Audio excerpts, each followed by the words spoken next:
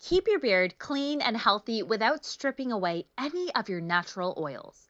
Our Ultra Conditioning Beard Wash contains argan oil and vitamin E to help nourish, hydrate, and heal your skin. Simply apply the beard wash to your hands, give a quick rub, and apply directly onto your skin and through your beard. The aloe helps to promote hair growth and also acts as a conditioner, leaving you with a fresh, shiny, healthy beard.